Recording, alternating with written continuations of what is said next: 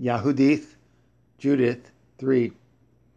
So they sent ambassadors unto him to treat of peace, saying, Behold, we, the servants of Nebuchadnezzar, the great king, lie before you. Use us as shall be good in your sight. Behold, our houses and all our places, and all our fields of wheat, and flocks, and herds, and all the lodges of our tents, lie before your face. Use them as it please you.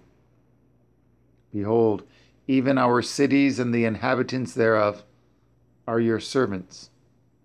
Come and deal with them as seems good unto you.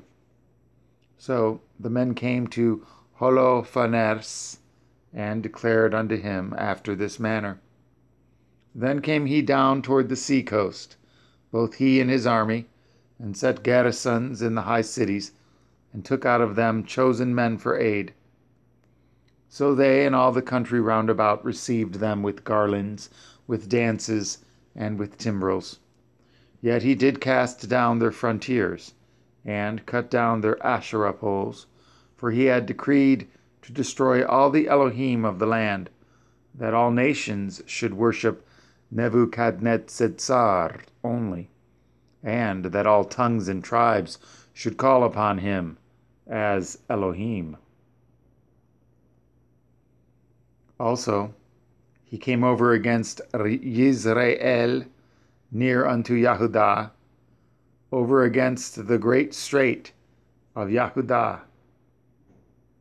And he pitched between Giva and Sichthosapap, rather, Sichthopolis, rather, Sichthopolis, and there he tarried a whole month, that he might gather together all the carriages of his army.